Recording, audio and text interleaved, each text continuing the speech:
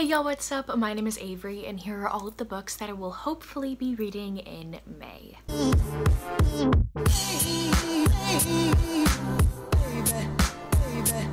So I cannot believe it. It is almost May. I feel like I just made my April TBR video. like, it's crazy. This month is very eventful for me because the end of term is in May. Like 4th of May is my last day.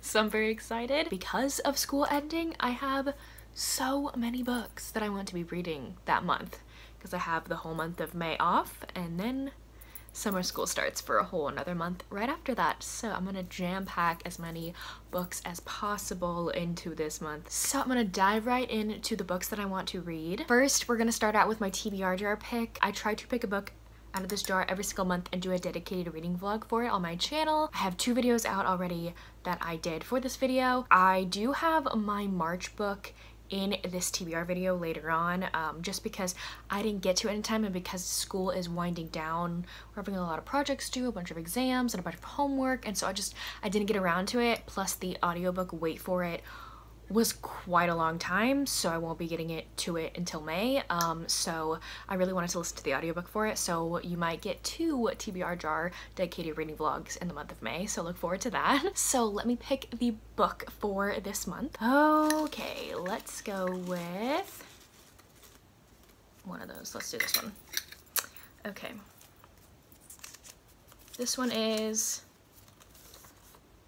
Inside Out by Lia Riley, Inside Out by Lia Riley. Let me go find that book. Okay, I just realized something. I forgot I made a rule for myself for this jar. If I picked a book that was the sequel to another book that I hadn't read yet, like if I hadn't read the first book yet, I have to read the first book and then I just put the second book back in the jar, if that makes sense. Um, and so the first book in this series is Upside Down. And I've actually read this book, but it's been four, four years since I've read this and I legit know nothing. I have a bunch of tabbies here. If you don't know my system with tabbies, I basically only tab the kissing or love parts. I am a sucker for those and I tab them because I love to go and reread those specific parts. So that's why I tab them. those are the like only tabs that I do in my books. And all I remember about this one is that I believe our heroine is uh, studying abroad in Australia and she meets a hunky surfer dude who lives in Australia. For the next six months, she'll act like a carefree exchange student to escape painful memories. Okay. She meets brooding surfer Bran Lockhart. This set this is set in Melbourne. Melbourne? Melbourne? Melbourne? I'm so sorry. Which one's right? I don't know. It's about him um, getting past all of his defenses with uh, a California girl named Natalia. So uh, I believe this is a new adult. She's 21. Um, so I legit remember nothing about this book. And Jennifer L. Armentrout blurbed it on the top. She said, romantic and poignant, the journey of love and acceptance lingers long after the book is closed. Um, so I remember nothing about this book, so this is the book that I'm going to be picking because Inside Out, I believe, is the the last book in the trilogy because I think it's a trilogy about all three characters because if you look in the front there are the other two. I have the other two. I bought all three at the same time back when i used to shop at the book service that shall not be named anymore. Yeah. I have all three of them and so i picked book number three so i'm going to be reading book number one for my dedicated reading vlog. So i'm actually very excited to read this. I've been wanting to reread this so that i could get to books number two and three so yeah, I'm really excited about this pick. So every month, if you didn't know, I have another goal for myself to buddy read a book with somebody each month. I love buddy reading books with my friends. I, I love it so much. And so I'm currently reading Just a Heartbeat Away by Kara Bastone and I am obsessed with it. I'm almost 50% of the way through it and I got this recommendation from Ashley from Ash Heart Books but she's already read book number two um, and I wanted to read book number two in May so I reached out to my friend Zae over at WhittyReads. I buddy read I buddy read a book with her a couple months ago and I love doing it and she hadn't read book two yet and so we're going to be reading book number two together and book number two is called Can't Help Falling, book number two in the Forever Yours series by Kara Bastone. I'm not going to read the summary because I don't want to spoil myself, but I know it's a romance between the two two people that we met um, in this book that I'm currently reading right now. Um, so I'm very excited and I love buddy reading today so much. I am in love with the first book currently, so I can't wait. Okay, we're gonna have a couple repeats from last month because again, with school winding down and everything being crazy with assignments and everything, I hadn't gotten to a few books. I really want to read The Savior by J.R. Ward. This is book number 17 in the Black Dagger Brotherhood series. This is a vampire romance series dealing with mates and everything. Each book is about a different mate. I really love to be caught up with the series and The Savior is the next book in that series for me to read. Um, I finished the Immortals After Dark series by Kresley Cole last month and I really want to get like the Black Dagger Brotherhood done as well. I feel like that's going to be a major accomplishment for me. Hopefully I can get it done by the end of 2021. I feel like I can do it. So I am hopefully definitely going to be reading this book in um, May. Then as I said before, I have to read Sorcery of Thorns by Margaret Rogerson. I picked this book out as my April TBR jar pick to do a dedicated reading vlog for. And again, the audiobook is on a wait list that I won't get until May. Um, and I really want to listen to this audio. I've heard great things about the audio. Yeah, I'm really looking forward to this. This is a young adult fantasy uh, book that I really enjoy the world of. I believe it's it takes place in the same world as An Enchantment of Ravens, which was Margaret Rogerson's first book, I believe. Um, and this one has to do with the Magic Library. And I am super excited. And I also have heard that a lot of my taller friends love this book because like our heroine is notoriously known for being very tall and they talk about that a lot and they don't see that a lot in books. So I love that. I love seeing um, more representation out there in the world. I have heard nothing but great things about it and I definitely want to read it. So I'm I'm gonna be reading it in the month May. Next we have Any Duchess Will Do by Tessa Dare. I am making my way through Tessa Dare's backlist and I'm currently working on her Spindle Cove series. This is book number four in the Spindle Cove series. I always go into these books blind, so I'm not reading the summary for this one. I have been going in blind for the, all of the Spindle Cove books and I have been loving them. Love them. I think all of them have gotten four stars for me except for book number one. And so I'm, I'm, I'm super excited. I've been loving these couples. I've been reading like one-ish a month and I, I just love it. I love it so much. So I can't wait to dive into this one. Next we have two Christina Lauren books that I want to get to. I want to complete the Beautiful Bastard series all freaking ready. The last book in the series is called Beautiful.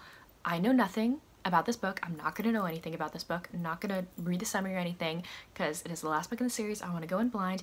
I love this series. I don't know why people don't. I I love it. I love it. I I am obsessed with this series. They're just super fun and entertaining to read. I love them. I want Christina Lauren to go back and write those kinds of books because I love them. I love them so much. I think the next book that I'm talking about is called Dirty Rowdy Thing um, by Christina Lauren. This is the next book in the uh, Sweet Filthy Boy series. Uh, that was the first book, Sweet Filthy Boy. Um, and I believe this has to do with one of the characters the, one of the couples we met in the first book. So the first book is all about three girlfriends and three guy friends and they end up like coming across each other at a bar in Las Vegas. And all of them, I believe, have one night stands and get married drunkenly that night. The couple from the first book, they don't get annulled. You read about their book, their story in the first book. The other two couples, both of them get an annulment of their marriage. Um, but I guess this is about like them like actually liking one another though, like seeing each other afterward and everything. I'm really excited. I'm going into both of these books completely blind because I like to be surprised by Christina Lauren. I, I just do. I also don't like setting my expectations too high when it comes to their books because that has happened for me in the past and I have been let down. So I'd rather just go in blind than know anything at all because my expectations might get crushed. Next we have two Ruby Dixon books that I want to get to. We have Fire in Her Dreams, which is her most current release, a part of the Fireblood Dragon series. If you didn't know about this series, this series revolves around dragon shifters and they're also aliens. So basically this place takes place on Earth. Years ago, a rift opened up in the sky and dragons started flying onto Earth, decimating the world. Um, there are only a few survivors of humans here and there in little camps. Little do these humans know that these dragons can actually like shift into humanoid forms like they have human forms um, and they are able to find their one true lifelong mate and so each book is about a dragon shifter finding their human mate i find this series super entertaining uh, just as entertaining as the ice planet barbarian series for me i i love that series so much uh, and this one is just as entertaining for me. I'm obsessed with it. I personally don't know anything about this book specifically. It came out last month or the month before that. This is the only book I have left to read in that series and then I am all caught up, which I'm super excited for. The cover is just amazing to me. I love it. And I think there's only one more book in this series that she's going to be writing and then she's done with this series. So sad. I'm sad a bunch of Ruby Dixon like series are coming to a close. Like what else is she gonna do y'all? Like what's gonna happen? And then I have When She Belongs by Ruby Dixon which is I believe book number four or book number five in the Risdiverse series, alien romance series. In this series like each book is centered around a woman who was uh, enslaved by people who kidnapped them from Earth, and they ended up escaping. And the ruler of this planet ends up marrying one of those human women and then gifting other women a farmland on his planet um, so they can have secluded, independent lives away from slave traders and everything. But a bunch of them are trying to fight for their farm because other alien, male aliens, are wanting to take it from them for their own lands and to hurt the women specifically. And so, so far that I've read, each book is about one of those human women trying to find a husband so that uh, they can offer her, her protection. Um, so I don't know if that plot still goes on after book three. I think I'm on book three. I think that's the one I'm reading. Um, I don't know if that goes beyond book three, um, but yeah, uh, I don't know anything about this one. Like I said, for many other books, um, I go into these books completely blind. The one that I'm currently reading right now is super funny. I'm reading When She Purrs at the moment, and that one's with her, with the a human woman and a Praxian alien. And if you, you, you don't read Ruby Dixon books, you don't know what that means, but I'm really excited because I believe it's the same alien that was in Willa's Beast from Ice Home. Again, if you don't know Ruby Dixon books, you have no idea what I'm talking about, but I am super excited for this. okay, everyone, it is shout out time. We're gonna take a break from the video for a second to shout out somebody from my shout out mug. If you didn't know, I put every single booktuber that I'm subscribed to in this mug, whether they're big or small, and I shout out everybody, no matter if you're big or small. Um, so let's pick out one to choose. Let's do this one. Let's see who this is. My goodness, it is, ooh, Lacey from Lacey Book Lovers. I love Lacey so much. Uh, she, I feel like, reads so many different things and she reads so much. Also, if, if you couldn't tell, she's a romance reader. Romance reader. Reads so many romance books. She is super fast. She reads a lot in a month and I love that. um, and she reads, again, like a wide range of things. I feel like on Goodreads, she is the friend that I have on Goodreads that has read so many of the books that I'm interested in. I'll go to click on a book that I, I'm thinking about reading and Lacey's already read it. Lacey has a review or a rating. I'm like, thanks Lacey for reading so many things so that I can have another opinion on whether I should read this book or not. And I love that so much. She just came out with a Mafia, I think. No, it's not Mafia. I'm horrible. I don't have a good memory. Um, but she has come out with a Mafia romance rec video. I think she just came out with like a steamy rec video. I'm horrible. I have a horrible memory if you couldn't tell. If you have not checked out Lacey, uh, you probably should have already. um, but if you haven't, please do. I love her so, so much. I'm also trying to read a bunch of Grace Draven backlist. I absolutely adore Grace Draven, if you can tell. There's there, there are some of her books. um, so the next book that I want to read by her is called Wyvern, which I believe is also a Dragon Shifter romance. Um, this one is only 88 pages, so it's pretty short. I want to read the summary for this one. Elizabeth Weaver, a talented fiddler, gave up the man she loved to care for her ailing grandfather. Now, eight years later, she must risk her life to save her grandfather from a lynching by playing for the wyvern that has terrorized her village throughout the summer. When she comes face to face with the beast at the haunted cliffs of Maldoza, she is both terrified and fascinated. Something about the creature reminds her of her long lost lover, something more than just a shared name. Alaric has never forgotten nor stopped loving the human woman he left in a dusty village almost a decade earlier. When he meets her again on the cliffs wearing old dragon armor and playing her fiddle as if her heart would break, he is overjoyed. But Elsbeth never knew the man to whom she had given herself was only an illusion for the wyvern. Alaric must convince her that the heart of the beast is no less devoted than the heart of the man, and that leaving her a second time will not last another decade. I'm really excited for this. I love Dragon Shifters and I haven't read a lot of different authors besides Ruby Dixon and one other one other author. Um, I love reading Dragon Shifter series. Uh, so I'm excited to read kind of like a standalone Dragon Shifter book because there's not, I don't think, um, any other books that Ruby Dixon has written that deal with Dragon Shifters. So again, very excited, looking forward to this one. I'm also trying to read all of Talia Hibbert's backlist, and so I am going to be reading Bad for the Boss, book number one in the Just For Him series by Talia Hibbert. Uh, this was written in 2017. It does not have the best ratings. Oh, darn it. Um, but I nonetheless want to read all of her books. I read The Princess Trap by her, which I think maybe was her first like published full-length novel if I'm not mistaken. And that wasn't my favorite thing, unfortunately. So I hope I really like this one though, because I love her books so much. This book is about Theodore, um, and he's very known for the boardroom and the bedroom. He is an antisocial millionaire and has never mixed business with pleasure before. Ooh, and he falls for one of his new employees named Jennifer. This is a romance between Jennifer and Theodore, um, and it is a boss-employee relationship and the dynamic between that whole thing because um, that's obviously forbidden. So very interested. I hope that this was good. Um, some of my friends have gotten it, given it pretty good ratings, um, but the average rating is a 3.5, which it's gonna be okay. I'm gonna read it. Hopefully it's good. so I went to Half Price Books the other day and I only bought one book and it was this one and it is I love it. It is gorgeous. Like, this is all raised, and I, I love it. It's called Lie Down in Roses by Shannon Drake. This is her most gloriously passionate novel. Like, look how beautiful that is. It has yellowish pages. I think that's from age and not from staining.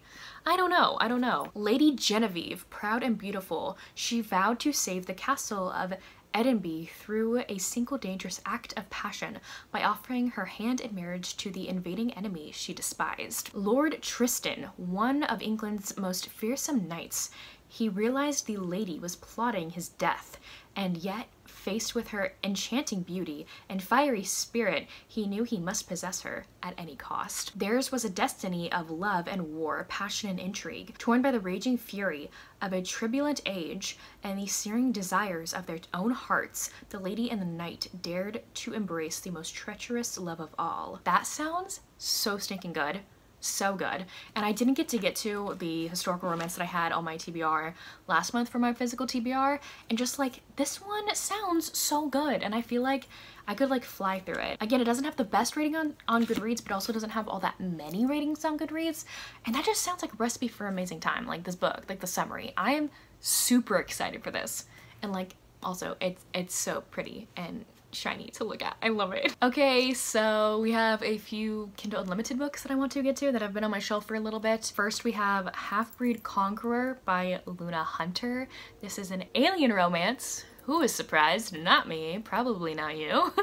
Um, I've been wanting to find like more alien romance books that I love because the few that I've read that weren't Ruby Dixon have been duds, like duds for me. This is the first book in the Mated to the Monster series. I am a caged beast bred for war. My captors force me to fight for my life day in, day out to hone my skills pain, war, and death are all I know. And then Amy's dropped into my cell. The most beautiful creature I have ever seen. Long dark hair, big eyes, and a curvy body I want to sink my fangs into. My captors tell me I must mate with the human female and impregnate her within the next seven days or they will kill her. There's nothing more I would like to do than say my urges with this female, but there's one problem. She is terrified of me. I cannot and will not mate with a female against her will, but I cannot let my captors kill her either. Every second she is in my presence, my animalistic urges grow harder and harder to resist. But I am determined to prove that, despite everything, I am no animal. If I can convince Amy to come willingly, then perhaps I can save her and myself. That sounds so good. Like, so good. If this does not turn out to be a good book, I'm going to be sad because I want alien romance books to love like I love Ruby Dixon's. Like, I want that and I really hope that that's this one. I've also been reading the, I think they're called Burly Men, Bigger Men series by uh, Jessica Kane. They have nothing to do with one another at all, um, but I've been loving the ones that I have been reading there in this series. Um, and so I wanted to go back and read the first one, and I believe it's called Husky. Um, I think that's the first one. This takes place in New York City and Parker is designing a new line for menwear, but none of the slim male models are inspiring her. And then she finds Dawes and he's nothing like the men in the fashion world. He's huge, he's thick, and he's husky. I'm very excited. I love Jessica Kane's like husky men books. Um, I think people most of the time love a hefty the most, which is the one that I've loved the most. Um, no, I've loved king size the most. Never mind king size was good. But uh, both of those are my favorite. I really hope this one lives up to the other two that I've read. The last book that I want to read a part of Kindle Unlimited um, is Our Totally Ridiculous Made Up Christmas Relationship by Brittany C. Cherry.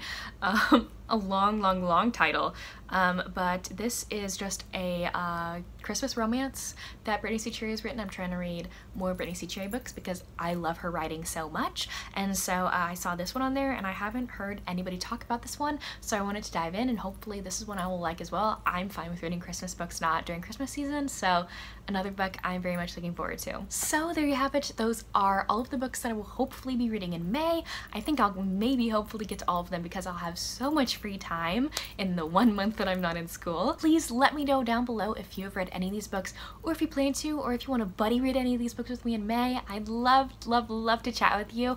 Um, you can mostly reach me through Instagram, through DMing me on there. But anyways, thank you all so, so much for watching. I will see y'all soon in my next one. Bye! Thank you.